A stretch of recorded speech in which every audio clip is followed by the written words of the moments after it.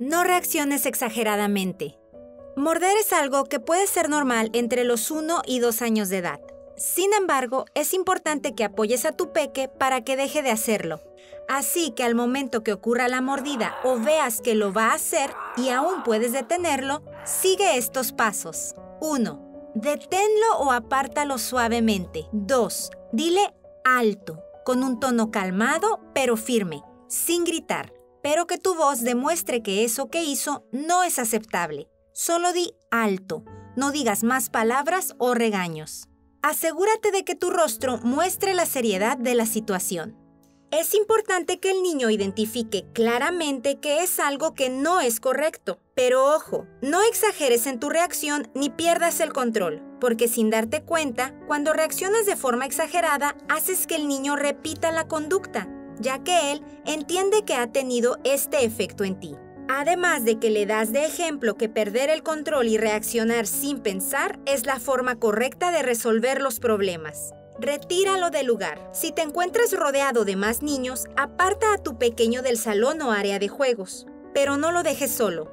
Esta acción no solo le manda el mensaje al niño de que en ese momento no está listo para convivir, sino que también este es el momento perfecto para que le expliques el motivo por el que lo estás apartando de los demás niños.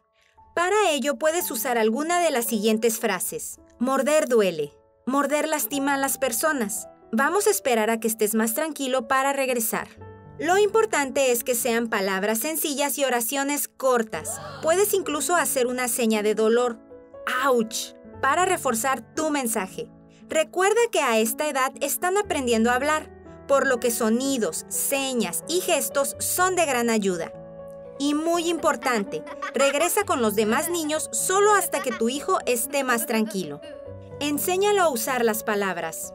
Aunque en un primer momento no nos demos cuenta, por lo general hay algo que provoca que el niño muerda. Así que presta mucha atención a la situación o momento en el que tu pequeño tuvo la intención de morder y dale alternativas para cambiar la conducta de morder por algo que sea adecuado y no lastime a los otros.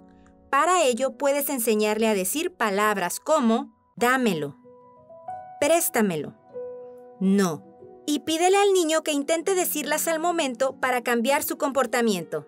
Si notas que el problema es que tu niño no tiene paciencia para esperar su turno o algo similar, además de detenerlo y decirle alto, dile espera.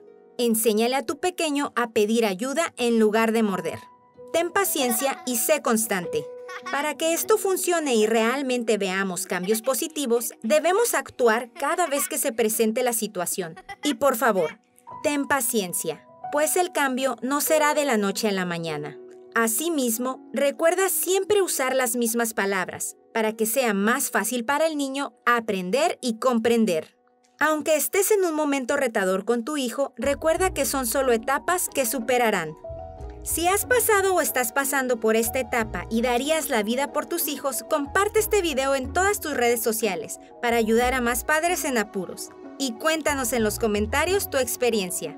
Soy la psicóloga Adriana Briseño y los espero en el próximo video.